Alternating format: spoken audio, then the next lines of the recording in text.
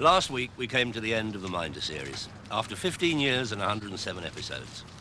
For tonight, ITV asked me to choose my favorite episode. Impossible. I've enjoyed them all. I've had 15 wonderful years with Euston Films. I've had wonderful relationship with both my minders, Dennis Waterman and Gary Webster. I've enjoyed working with wonderful casts. We've had first-class writers, directors, producers, and some of the finest film crews in the business. Oh yes, and not forgetting all our drivers. So I left the choice to ITV. This is it. Written by the late Leon Griffiths, the brilliant writer who devised Minder. It's episode one.